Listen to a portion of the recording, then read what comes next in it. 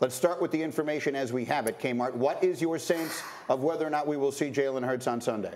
It's, uh, it's really unclear right now. And the way Nick Sirianni is talking about it is he was this close. So the inclination is, okay, well, he was this close. We're going to see him this weekend. If we don't see Jalen Hurts, like at practice again, on the field, you're going to know that he was really never that close. Mm-hmm. Um, and that, to me, is what would be concerning. Because as much as Dominique wants to poo-poo momentum, I do think there's a reality to it. I do think this team playing without their quarterback and some of the issues we've seen offensively, I think you, you do need to have Jalen Hurts healthy on the field as they go into the postseason. All right, so this one to me is the diametric opposite of the previous one. This one, you are playing for the one seed, win and you control it. So this one, I think you do treat like a playoff game. I think unless Jalen Hurts is just too hurt to yeah. play, I think you well, play him and everybody else. It's hard for me to believe that he's too hurt to play because he finished the game that he was hurt in. Mm. So, like, I think Jalen Hurts does play in this game because they need to win this game. And I'm sure he's pushing the play. Mm-hmm. And I think that Nick Sirianni said all the right things, mm-hmm. like the health comes 1st mm-hmm. Nah, no, homie. he's going out there to play.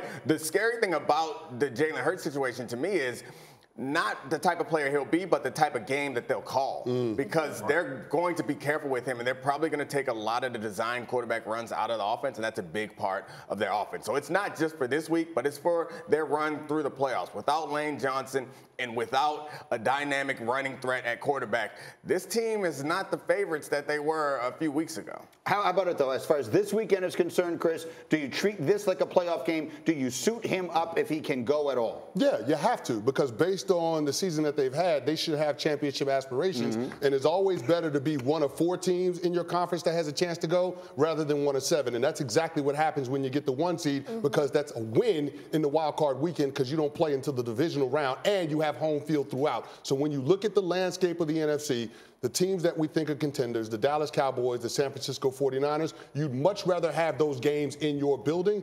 And you also want to have Jalen Hurts be show that he can be the threat that we've seen throughout the majority of the season. Because if he can't be a focal point in the running game as well as that dynamic passer, that changes how you defend that Philadelphia Eagles offense. And Nick just kind of changed up my thought. So I want to ask you this question, D Wood, just from a bigger perspective.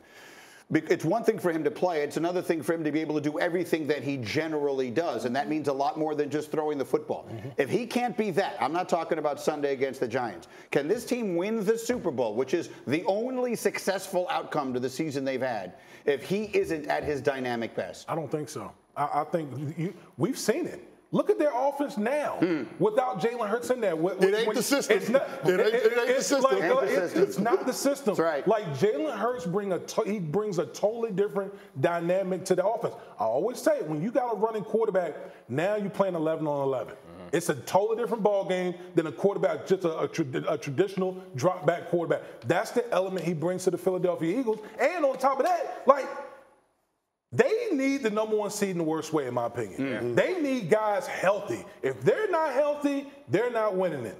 I didn't mean to interrupt Pastor Wood, yeah. um, Pastor Wood but but the first lady of the congregation yeah. had something to say. we're looking at a 49ers team that is literally on their third quarterback. Yeah. And we are saying the Eagles, who we have said are the best team in the NFL for a long time, we've said this most of the season, now, if, if Gardner Minshew, like they desperately need Jalen Hurts to play in Week 18, or else I don't know what's going to happen to them. That to me is troubling. Hmm.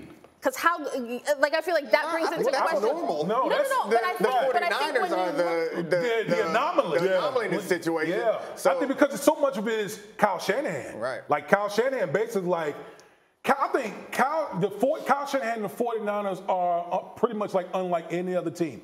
They literally say, like, we don't need a superstar quarterback. We can plug guys in and just just operate the system, they sure and you'll be good. They sure, they sure want one. That's why they traded everything they had to get. Oh, there's no question. But listen, you bring it, yeah. Jimmy G, Brock Purdy, those guys Nick coming Mullens. in. Nick yeah, Mullens, those guys just coming in operating. A lot of it's Kyle Shanahan, a lot of it's Nicky Bosa too. And, and, that's right. And, look, I mean, the, the Eagles just won a Super Bowl with Nick Foles as their quarterback. Thank you for watching ESPN on YouTube. For live streaming sports and premium content, subscribe to ESPN Plus.